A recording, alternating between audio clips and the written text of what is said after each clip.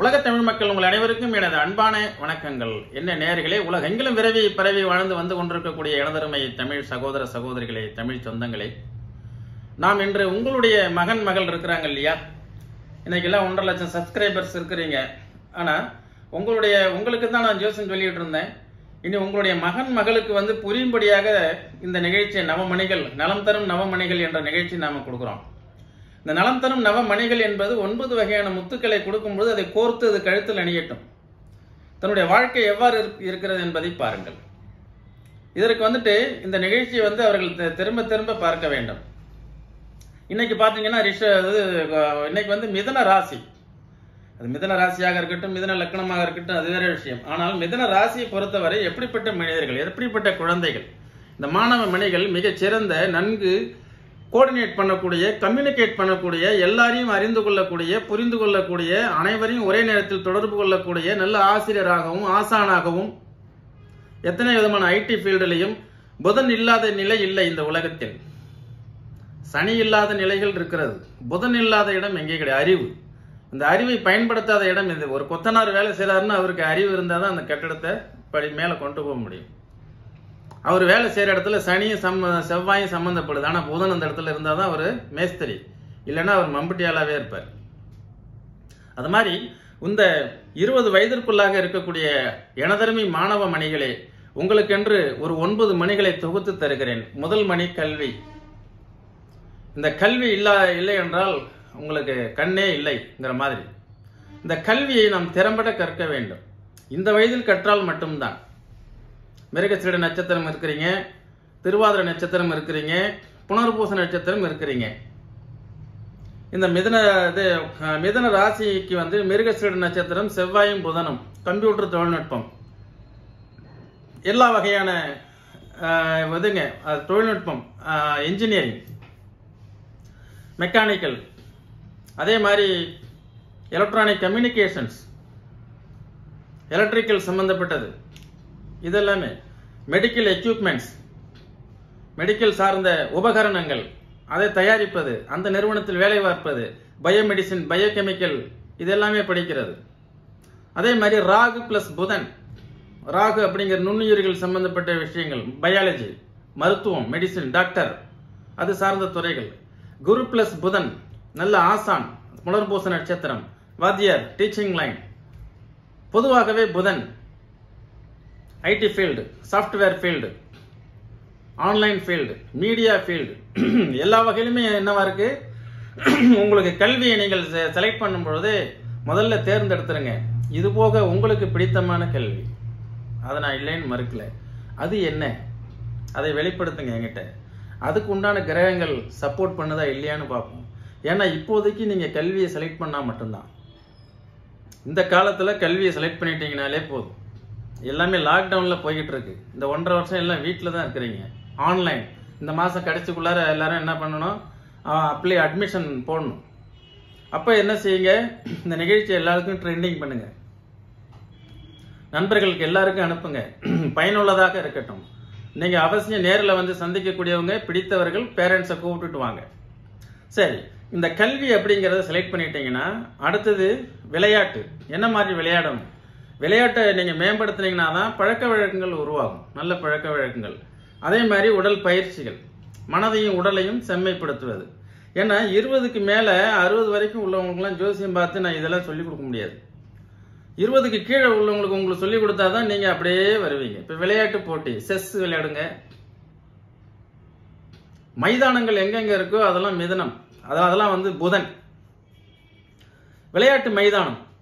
பள்ளி வளாகம் பள்ளி ப- உள்ள விளையாட்டு மைதானம் இதெல்லாமே அதில் என்னென்ன விளையாட்டு இருக்கோ எல்லாத்தையும் விளையாடுங்க. அறிவு சார்ந்த விளையாட்டுகள். கோல் அடிக்கிறது அறிவு. எப்படின்னு வியூகம் வகுக்கிறது. கிரிக்கெட் மட்டை. அந்த பந்து எங்கே அடித்தா சிக்ஸர் ஃபோரு எந்த பக்கம் திருப்பி அடித்தா கரெக்டாக போகுங்கிறது. அப்போ கிரிக்கெட் அதே மாதிரி மூளைக்கு வேலை. செஸ் விளையாட்டு. அதே மாதிரி காற்றில் பறக்கும் பந்து கோல்ஃப் ஏன்னா நீங்கள் ஒரு காற்று ராசி. அதே மாதிரி வந்துட்டு விண்ணை நோக்கி மேலே எறியக்கூடிய விளையாட்டுகள். உயரம் தாண்டுதல். ஜம்ப் பண்ணி உயரம் தாண்டுறது. நீளம் தாண்டுதல். இப்படிலாம் உங்களுக்கு விளையாட்டு. இது போக இன்னும் நிறைய இருக்கிறது மாணவ மணிகளே. அதெல்லாம் உங்களுடைய ஜாதகத்தை பார்த்து நாம் தெரிந்து கொள்வோம். இப்போதைக்கு நம்ம வந்து இந்த இரண்டாவது மணி விளையாட்டு. இந்த விளையாட்டை நம்ம செலக்ட் பண்ணிட்டோம்னா தான் நமக்கு வந்து பஞ்சுவாலிட்டினா என்னன்னு கற்றுக்க முடியும். நேரத்துக்கு நேரம் தவறாமை. புதன்னா கரெக்டாக இருக்கணும் இல்லையா? புதன் கிட்ட ஒரு அலட்சிய போக்கு இருக்கும். அதுவே வாழ்க்கைக்கு வந்து பெரிய அளவில் மேன்மை பெற முடியாத அளவுக்கு வந்துடுது அந்த மிதனம் வந்து தனக்கு கிடைத்த அறிவை பயன்படுத்தி கொண்டு சிஸ்டமேட்டிக்காக செயல்படுவதற்குத்தான் உங்களுக்கு ஒரு மணி விளையாட்டு மணி. மூன்றாவது மணி வேலை அல்லது சுயதொழில். இந்த மணி என்ன சொல்லுது? திறம்பட செயல்பட சொல்லுது. திறனை வெளிப்படுத்த சொல்லுது. எல்லார்கிட்டையும் ஒரு நல்ல கம்யூனிகேஷன் சிறப்பாக வச்சுக்கக்கூடிய ராசி மிதனம். எல்லாரையும் கோஆர்டினேட் பண்ணுறது மிதனம். அப்போ வேலை அப்படிங்கிறத வந்து என்னது? நேரங்காலம் பார்க்காம செய்ய சொல்லுது. இது என்ன ஆகும்? நாளை ஒரு காலத்தில் அறிவை பயன்படுத்தி மூளையை பயன்படுத்தி நன்கு சம்பாதிக்கிறதுக்கு உண்டான யுக்திகளை இது வந்து உங்களுக்கு வகுத்து கொடுக்கும். அதுக்கு அடுத்தது பார்த்தீங்கன்னாக்கா உங்களுடைய இலக்கு. இது எல்லாருக்கும் ரொம்ப அவசியம். இலக்கில்லாத பயணம் வெற்றியடையாது லட்சியம் தொலைநோக்கு பார்வை. இதெல்லாம் பிளான் பண்ணுங்க பிளான் அப்படின்னா திட்டம். திட்டம் தீட்டுதல். நான் யாருன்னா புதன். புதனுடைய வேலை கால்குலேஷன் இப்படி மாறி மாறி நம்ம எதை வேணாலும் சொல்லிக்கிட்டே போகலாம். அதனால் எதிர்கால திட்டங்களை ஒவ்வொன்றும் ஐந்தாண்டு ஐந்தாண்டு ஐந்தாண்டு போட்டு தரவாங்க. அஞ்சு வருஷத்துக்கு ஒரு பிளான் இருபது வயசுக்கு மேலே. பதினெட்டு டு இருபத்தி மூணு கல்லூரி படிப்புங்க. இருபத்தி ஒன்னோட முடிஞ்சு போச்சுன்னா யூஜி பிஜி இருபத்தி மூணு தான். இல்லையா? அதுக்கு மேலே இல்லை. இந்த பதினெட்டுலேருந்து இருபத்தி மூணு உள்ள வயசில் உள்ளது பூரா அந்த நிகழ்ச்சியை பாருங்க. நீங்கள் எல்லாமே உங்களுக்கு ஃபோன் அப்பாயின்மெண்ட் கிடையாது. நான் முன்னாடி சொல்லியிருந்தேன் என்ன படிக்கலாம் கேளுங்க. இலவசமாக உங்களுக்கு பதில் அனுப்புறேன்னு. இது அப்படி பண்ண முடியாது. பதினெட்டுலேருந்து இருபத்தி மூணு நேர்லாம் வரணும். மாணவனாக இருந்தாலும் மாணவியாக இருந்தாலும் உங்களுக்கு எல்லாமே வந்து நான் இந்த வயசுலயே பசுமரத்துல பசுமரத்தில் அடித்த ஆணி போன்று உங்களுடைய மனதை துளைத்து உங்களுடைய ஆழமான மனதிலே வந்து உங்களுடைய இருதயத்தை டச் பண்ணக்கூடிய அளவுக்கு எதிர்காலம் பற்றி நீங்கள் என்னவா வருவீங்கன்னு நான் உங்களை மோல்டு பண்ணி விடுறேன். அந்த மோல்டு பண்ணியாச்சுன்னா அதுல நீங்கள் நீங்க மாறவே கூடாது. எப்பெல்லாம் அதுல இருந்து மாறாம இருக்கீங்களோ அப்பெல்லாம் வெற்றி நிச்சயம். நான் இதுவாகத்தான் வருவேன். இலக்கு. என்ன மாதிரி லட்சியம்? நான் ஒரு ஐஏஎஸ்ஸாக வந்து இந்த மக்களுக்கு எல்லாருக்கும் நன்மை செய்வேன். இலக்கு. எனக்கு பத்தொன்பதில் உதித்தது. நான் இந்த மனித சமுதாயத்திற்கு ஏதாவது சேவை செய்வேன். இன்னைக்கு சேவை செய்து கொண்டிருக்கிறேன். யாருக்கும் பரிகாரம்னு சொல்லி பண்ணி ஏமாத்தல. அல்லது பரிகாரம்னு சொல்லவும் இல்லை. சரியா? பரிகாரம் உங்கள்கிட்டே இருக்கு. வாங்க சொல்லித்தரேன். அதே நேரத்தில் கண்ட இடத்துல போய் ஜாதகம் பார்க்கவும் இல்லை. என்னை யாரும் பயமுறுத்தவும் இல்லை நான் யாரையும் பயந்துக்கவும் இல்லை. அப்போ எனக்குன்னு ஒரு நேர் சீரான விதைகளை நேர்மறையான விதைகளை எனக்குள் விதைத்து கொண்டு லட்சியங்களை வகுத்து கொண்டு எதிர்காலத்தை நோக்கி நான் பாட்டுக்கு நடைய போட்டேன் வந்து உட்காந்து உங்களுக்கு பேசிகிட்டு இருக்கேன் இதே மாதிரி உங்களையும் பண்ணுவேன். டைரி மட்டும் எடுத்து எழுதணும் பத்தொன்பது வயசில். வந்து வரும்போது டைரி வாங்கிட்டு வந்துடுங்க உங்கள் கரண்ட்டு இந்த வயசில் உள்ள போட்டா ஒட்டிடுங்க எடுத்துட்டு வாங்க. நான் உங்களுக்கு அழகான வழிமுறைகளை ஒரு பதினஞ்சு டைரி செலவாகும். இந்த வயசுல இருந்து. பதினஞ்சு டைரின்னா எத்தனை வருஷம்? பதினஞ்சு வருஷம். மூன்று ஐந்தாண்டுகள் திட்டம். மூவஞ்சு பதினஞ்சு. அழகா பிளான் பண்ணி தரேன். அதுல அழகா நீங்க வந்து மிஷன் அண்ட் விஷன் உங்க லைஃப் வந்து கம்பல்சரி உங்களுடைய இலக்கை முப்பத்தஞ்சு வயசுல அடைஞ்சிருப்பீங்க. அப்ப என் ஞாபகம் உங்களுக்கு வரும். சரிங்களா? அப்போ என்ன செய்யணும் நீங்க? உங்களுடைய லைஃப்ல எதிர்காலத்தில் ஒரு நல்ல ஒரு இலக்கை நான்காவது மணியாக தேர்ந்தெடுத்து கொண்டு அதை வந்து நீங்க செயல்பாட்டுக்குள்ளார கொண்டு வந்தீங்கன்னா நீங்கள் நீங்க வைத்தியராகவோ அரசுல உயர்ந்த பதவியாளராகவோ அல்லது வந்துட்டு சுந்தர பிச்சையாட்டம் இங்கேருந்து போய் நம்மளுடைய திறமையை பயன்படுத்தி முதலீடு போடாம ஒரு பெரிய நிறுவனத்துக்கு சிஇஓவாகவோ ஏன் இருக்க முடியாது? உங்களுக்கு நிறைய திறமை இருக்கே. அது ஏதோ ஒரு அலட்சியம் தடுக்குதே.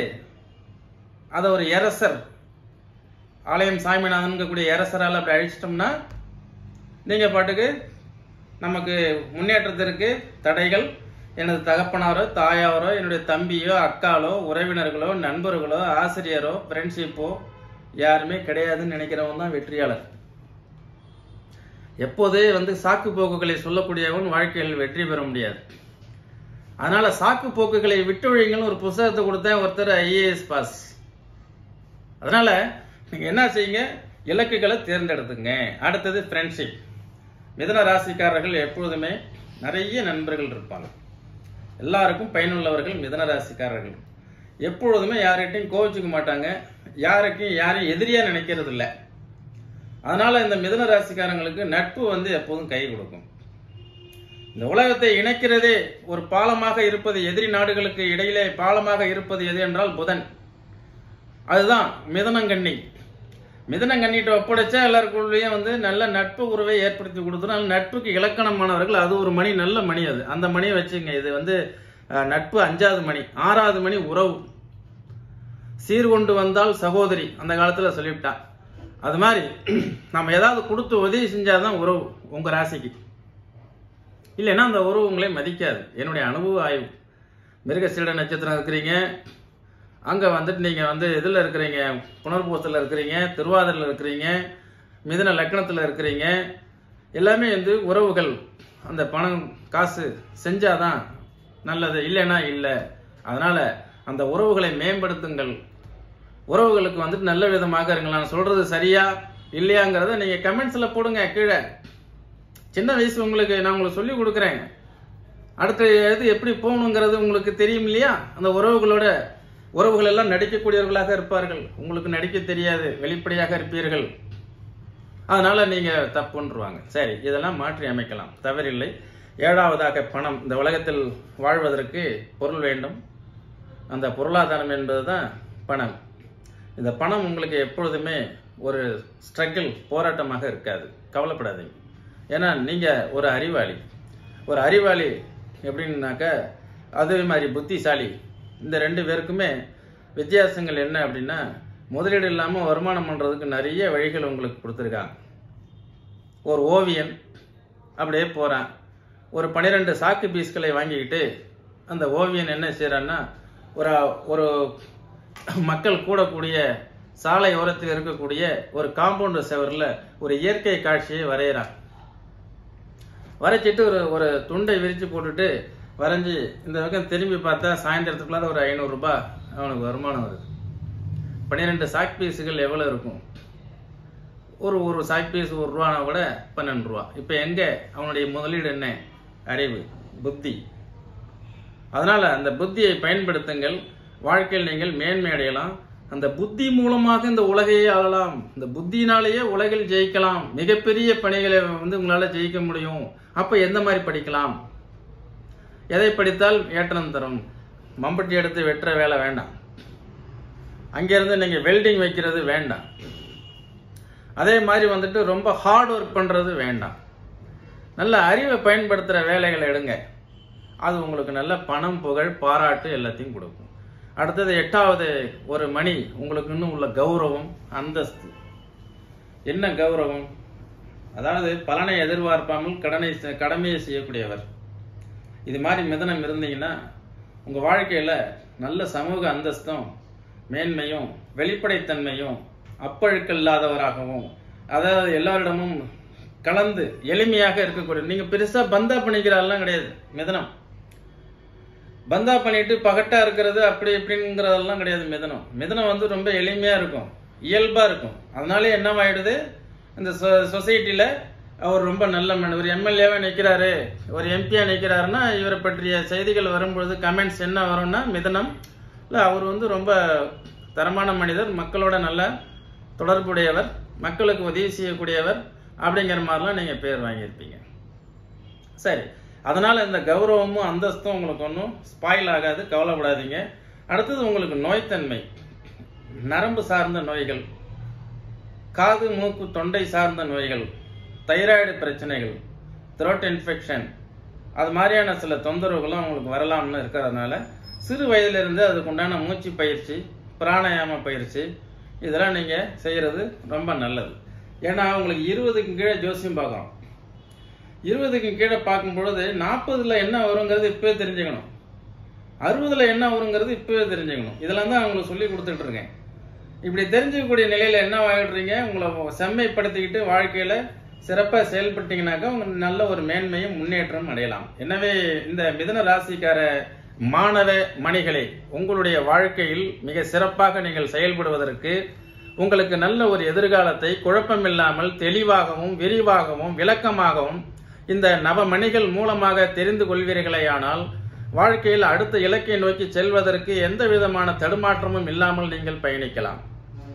எனவே நீங்கள் உங்கள் தாய் தகப்பனாரை அழைத்து கொண்டு உங்களுடைய ஜாதக ரீதியாக எதிர்காலத்தில் உள்ள கல்வி அதே மாதிரி வேலை சுயத்தொழில் என்ற நிலைப்பாடுகளை இப்பவே தெரிந்து கொண்டு வாழ்க்கையில் மிக சிறப்பான ஒரு நிலையை நீங்கள் அடைவீர்கள் என்று நான் நம்புகிறேன். எனவே இந்த இதை வந்து ட்ரெண்டிங் பண்ணணும். உங்கள் நண்பர்கள் உறவினர்கள் மிதன ராசியில் இருக்கக்கூடியவர்கள் அனைவருக்கும் நீங்களாவே அனுப்பிடுங்க உங்களுக்கு உண்டான கேள்விகளை நீங்களாவே கமெண்ட்ஸில் எழுதிருங்க. அடுத்த நிகழ்ச்சியில் நான் உங்களுக்கு அதுக்குண்டான தக்க பதிலை நான் உங்களுக்கு அனுப்புகிறேன் எனவே நாம் இன்னொரு நிகழ்ச்சியில் மீண்டும் சந்திப்போம். நன்றி. வணக்கம்.